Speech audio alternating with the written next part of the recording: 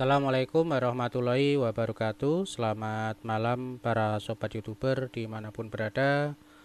Jumpa kembali dengan channel saya Channel yang selalu berbagi informasi seputar dunia pendidikan. Baik Bapak Ibu di sini saya akan berbagi tutorial tentang bagaimana cara mengubah file dalam bentuk Microsoft Word menjadi PowerPoint. Bagaimana caranya? Ikuti langkah dan tutorialnya sebagai berikut. Namun sebelumnya kita dengarkan intro yang satu ini.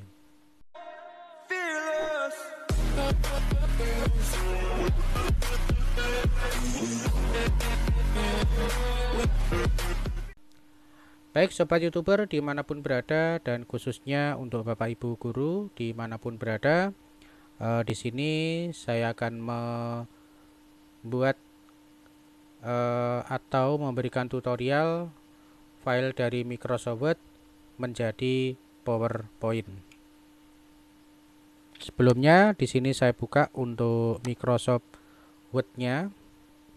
Di sini saya memiliki file dari Microsoft Word yang dari Microsoft Word ini akan kita tata dan kita ubah menjadi PowerPoint ya dan ini uh, sudah ada konsep ya dari sebuah PowerPoint yang sudah saya siapkan terlebih dahulu sebelumnya. Kemudian dari Microsoft ini kita tata dulu untuk akan kita atur menjadi Microsoft PowerPoint ya. Misalkan di sini uh, saya tata ya. Di sini saya ambil judul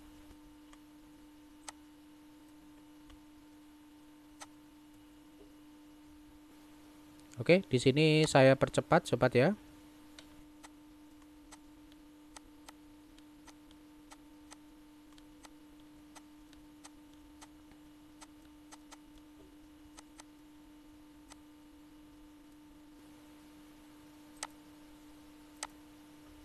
Oke sobat ya, ya ini kita sudah tata sebagai file dari Microsoft menjadi pengaturan secara dasar Kemudian dari sini sebelum kita ubah menjadi Microsoft PowerPoint, kita atur kembali. Jadi setiap poin di sini kita atur di sini menjadi heading 1 ya. Kita klik heading 1. Kemudian pendahuluan ini adalah slide yang kedua. Kita klik heading 1 dan untuk penjelasan itu kita klik heading 2 ya. Jadi seperti itu. Kemudian berikutnya ini kita klik heading 1 kemudian penjelasan kita klik heading 2 dan seterusnya nanti silahkan ya untuk judul pada poin slide ini kita buat heading 1 kemudian untuk penjelasan ini kita buat heading 2 seperti ini ya kita lakukan sampai dengan selesai. Oke heading 1 kemudian heading 2 heading 1 heading 2 ya. Ini juga demikian heading 1 ini kita hapus dulu kemudian heading 2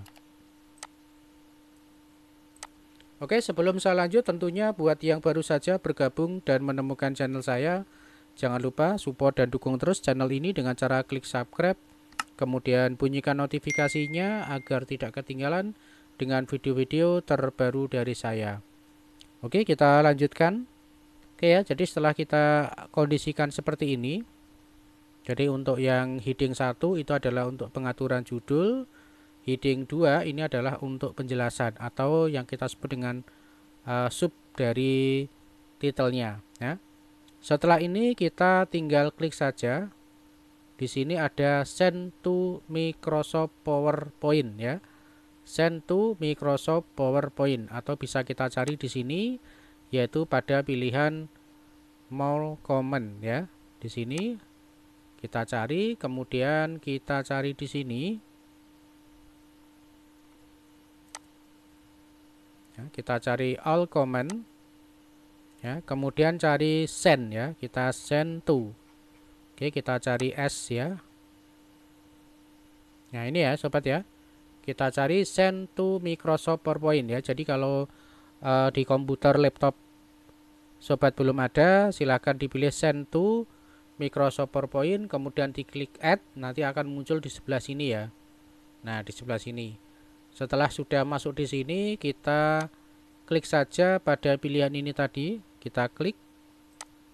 Nah, kemudian kita tunggu. Nah, selesai sobat ya. Jadi secara otomatis akan menjadi PowerPoint. Nah, dari sini kita tinggal mengatur saja, tinggal melakukan editing ya. Editing uh, sebatas keperluan ya sobat ya. Kemudian desainnya kita ubah juga ya, bisa kita ubah dari sini. Oke, ya. Seperti ini misalkan ya. Kita bisa klik di sini pilihannya apply to all slide. Artinya untuk semua slide atau apply to selection slide ya. Artinya untuk slide-slide tertentu yang kita ubah ya. Kita pilih untuk yang apply to selection slide ya. Nah ini berarti ada perubahannya hanya ada di slide 1 slide 2 tidak ya. Kemudian di slide 2 kita bisa ubah lagi ya. Sesuai dengan yang kita inginkan misalkan ya. Seperti ini ya. Nah ini seperti ini untuk slide 2 ya. Kemudian slide berikutnya ya. Ini kita tadi kita klik all ya. Nah kalau misalkan kita mengendaki slide yang ketiga ini berubah lagi ya kita klik saja kanan ya. Kemudian kita klik apply selection ya. Nah seperti ini ya sobat ya. Oke jadi seperti ini. Sampai dengan terakhir. Nah oke ya jadi cukup singkat dan cukup mudah sekali. Kalau kita ingin menambah gambar ya kita tinggal menambah gambar aja ya. Kita mau model yang gambar bagaimana ya.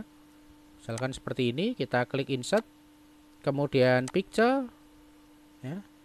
Kita cari ya. Kita cari gambar ya bebas ya. Silakan. Misalkan ini contoh aja sobat ya. Kita klik insert. Nah seperti ini sobat ya oke nah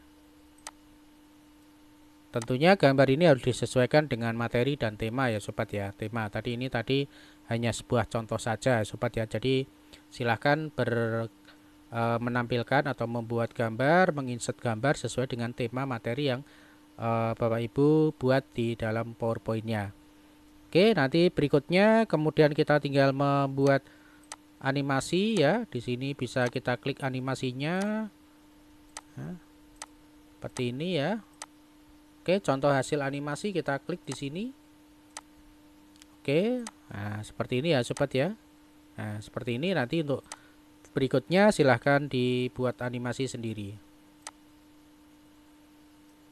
Kemudian setelah ini kita klik save ya, kita simpan. Kita klik save, kemudian kita simpan saja ya. Di sini mau disimpan di mana ya? Misalkan kita simpan di dataku Pentingnya buah tomat bagi kesehatan. Ini bisa dipilih tipenya ya. Pakai yang PowerPoint 97 2003 ataukah PowerPoint yang presentasi saja. Ya, silakan disesuaikan aja sesuai kebutuhan. Kita klik save.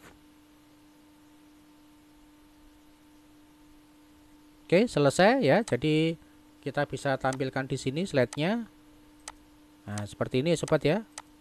Wah, nanti untuk animasi silakan di uh, penuhi, dilengkapi ya, sehingga menjadi PowerPoint yang siap untuk bisa kita gunakan untuk presentasi. Baik, terima kasih. Semoga bermanfaat. Sekali lagi buat yang baru saja bergabung dan materi dan tutorial ini sangat bermanfaat, silakan dibagikan, di-share ke teman yang lain. Jangan lupa subscribe dan bunyikan notifikasinya agar tidak ketinggalan dengan video-video terbaru dari saya. Oke, terima kasih. Salam sehat, salam bahagia. Assalamualaikum warahmatullahi wabarakatuh.